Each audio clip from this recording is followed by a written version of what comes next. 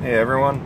So apparently my uh, what I'm calling a heartbeat stitching in my trilobite weave has been pretty popular on Facebook lately. A lot of people are asking me how I weave it so as to make it look nice and uh, consistent all the way through. So I went ahead and I put together another trilobite. This one I'm going to be giving my cousin who's a paramedic. Uh, finally got him to send me my size so I can make you guys this video. Um, I have about four to five feet of 095 red uh, microcord and this is for an approximately nine inch long bracelet for my cousin. Um, I know that I kind of reversed one of my ties on one end but I think it'll still look okay uh, regardless of that as that's usually worn down on the bottom of your wrist anyway.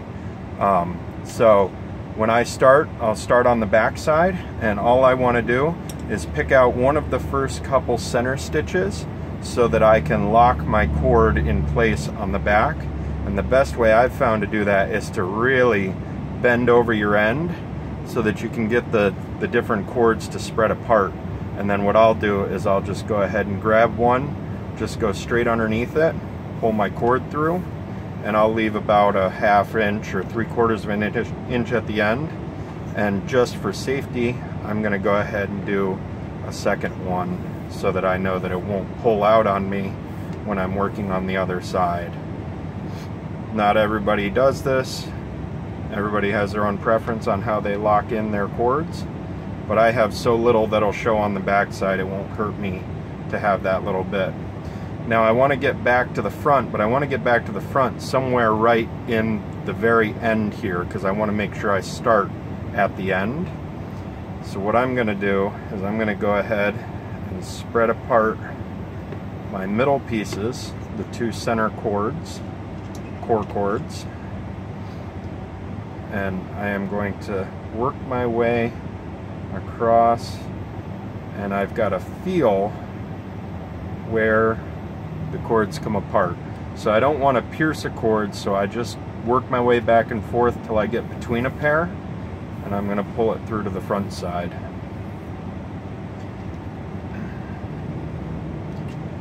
Now you can see that all that'll show on the back side of my start is one over that, and then the very end will be melted right there, or you could pull it off into the corner and melt it down there. Now, to show you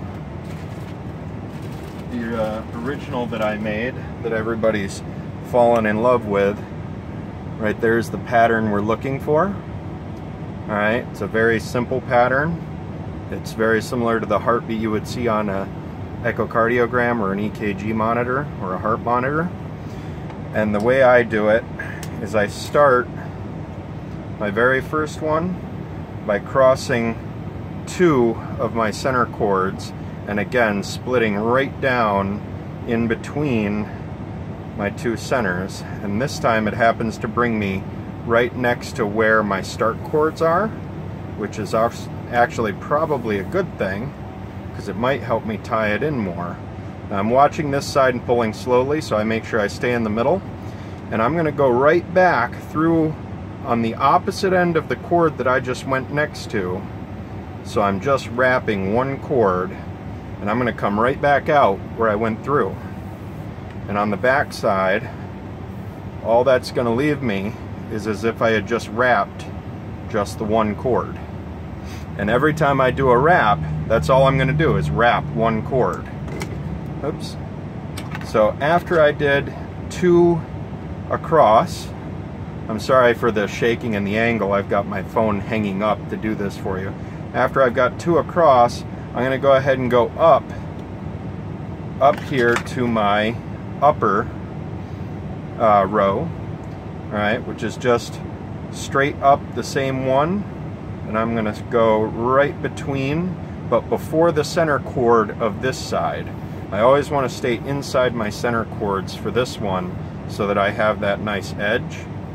And once again, I'm just going to come over here and go one over from where I was and back at an angle so that I come right back through the same hole that I went through except that again on the back side I've only wrapped one cord on the back now I want to go down and I want to go down and follow this line all the way down to the bottom.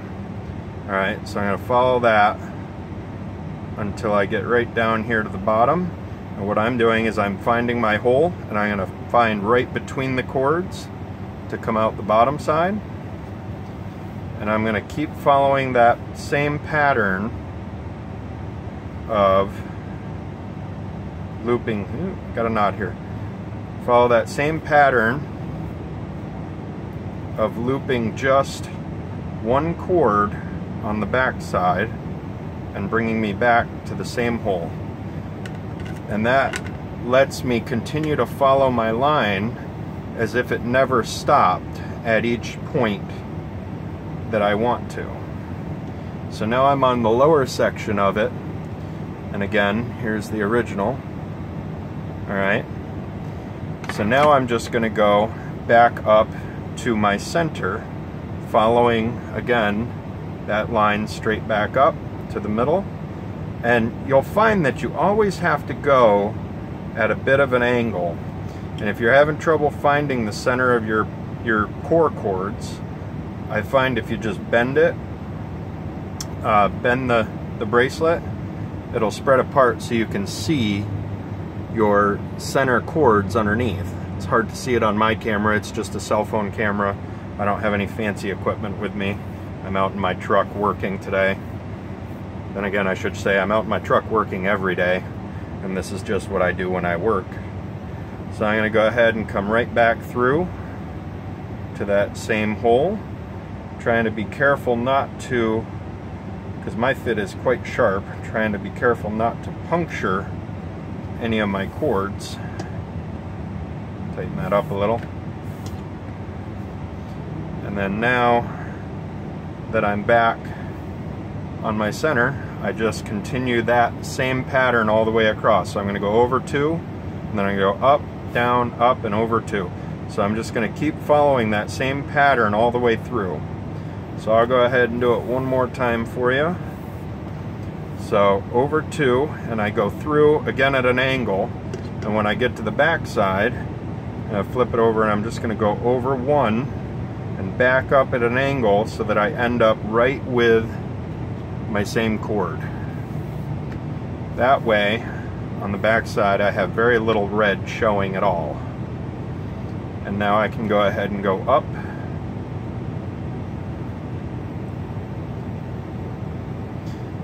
And I, I do have problems sometimes finding the correct path through the cord. But again, if you spread them apart just a little, you'll find it might make it a little easier to get back in that slot where you want to be. I'm getting a lot of knots on this one. Getting caught. I guess that's what you get when you don't have great ways to store your cord or nice spools to pull them off where they're somewhat straight. Everything I've got is wrapped by hand because that's all I have. I don't have a lot of space in my truck to store my paracord or my supplies. Everything's very minimalist. And uh, when I get a, a request for an item or a project, I have to order almost exactly just what I need just for that uh, that one order because I don't have the space that some of you guys have, a, you know, an entire room where I can just have a nice table and racks full of paracord. So now that I'm back at the bottom, I'm going to go right up to the next cord. I'll work my way through and find my center. And once again, it's this one's a little tighter than the last one I did. So I'm going to spread apart my center and work my way right through in between.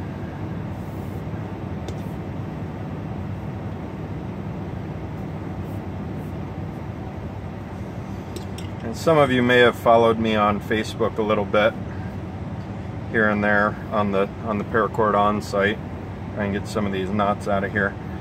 Um, I'm the guy who does all the Cub Scout projects out of paracord and such for summer camp and things. I enjoy doing stuff for them and I don't make money on this paracord. I do it for friends and family. I have lots of people asking me to make it for them, but it's something I've never done. So now we're going to go right down the center one more time.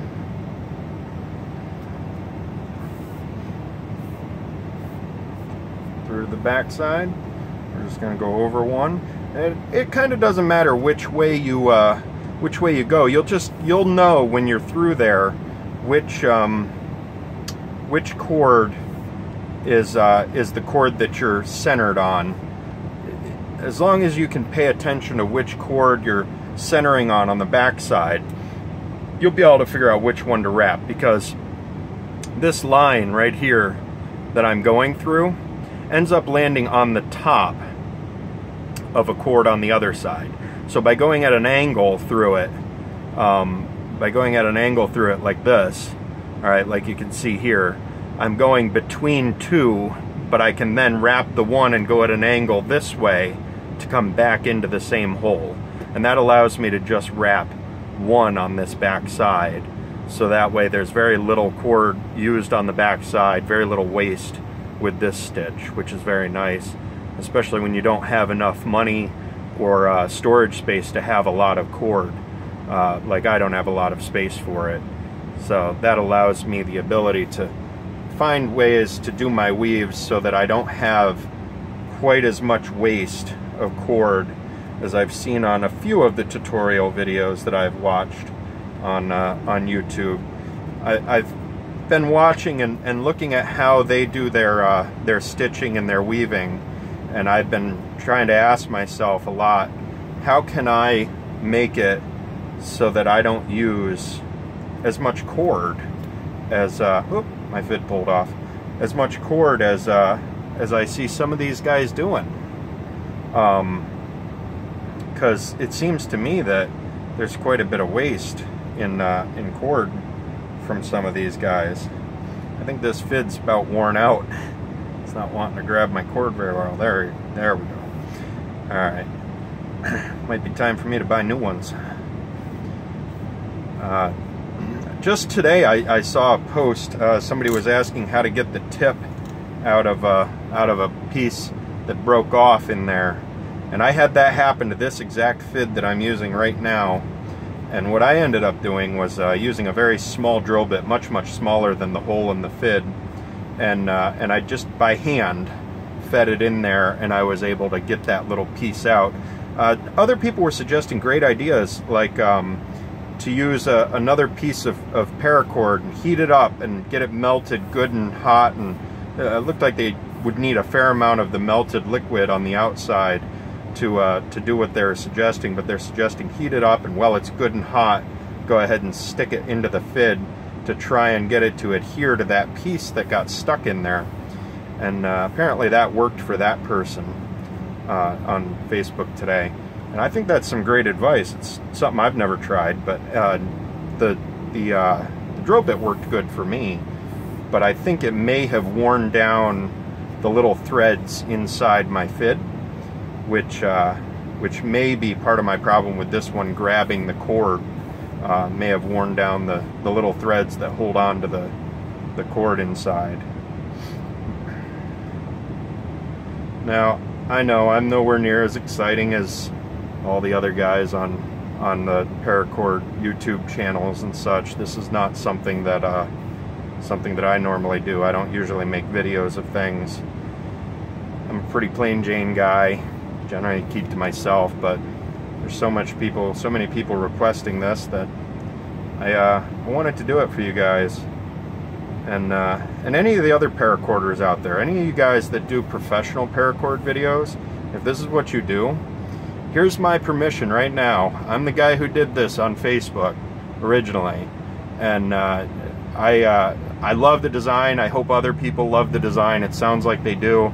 sounds like nobody else had uh, nobody else had thought of this prior to me, and I don't know why, but because uh, there's a lot of a lot of really smart people on there that I like to borrow ideas from myself. But if uh, if any of you guys who do real uh, real YouTube videos, back on the on the subject here, if any of you want to make a better video of how to do this, something that looks a little nicer, better lighting, uh, better camera work, better commentary. For goodness sake, I'm terrible. Um, please do. And and when you do, um, go ahead and find me on Facebook. Send me a send me a link to it because uh, I'll tell you what, there's a lot of people asking me for uh, how to do this. And I'd like somebody who's a little better at it to, to show them how to do it than me. Because for me, it's just something I do as a little bit of a hobby for friends and family and fellow truck drivers of mine. Um, getting ready to do a, an order of a modification on this for a friend of mine who wants a commemorative bracelet for her mother, which I thought was a great idea. Um, so I'm working with her on on doing that.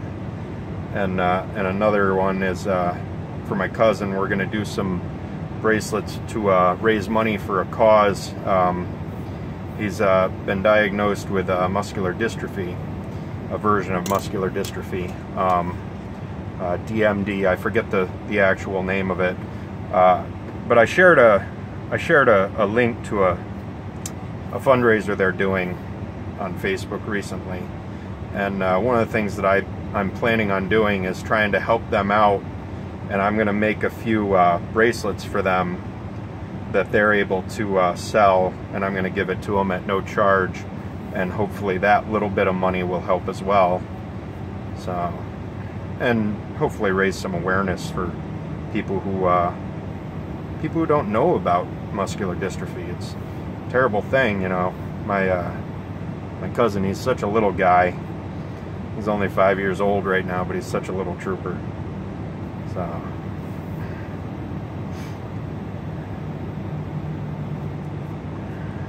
Alright, well I'm going to go ahead and pause this for you and I'll come back when I get to the end and show you what we've got. I'm moving right along, I'm about halfway through. You can see that took me probably about 12 minutes or so if I wasn't doing the commentary and paying a little more attention to what I was doing, I might have been able to do it just a little bit faster. Um, but I'm not the fastest person when it comes to doing paracord in the first place. So I'm going to go ahead and pause this, and I'll uh, see you guys in a moment when I'm just about ready to finish up.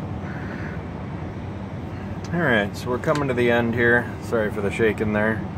Just uh, restarted the video there for you.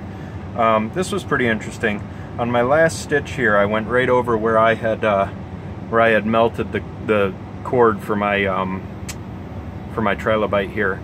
Um, again, as you can see, I like to pull it under a couple of the, the stitches to help hold it under. But I still just treated this as if it was the cord that's underneath this. There's actually another cord underneath this. So I actually ended up tying my melted ends right to the red cord, which I think might actually be a nice way to help hold it and uh, give you a little softer surface for your wrist while you're wearing this. It's kind of nice. Um, anytime you can keep a nice flat surface. Um, they always talk about those uh, flattening tools that they use for the when they melt the cord on uh, on the paracord um, tutorials on on YouTube.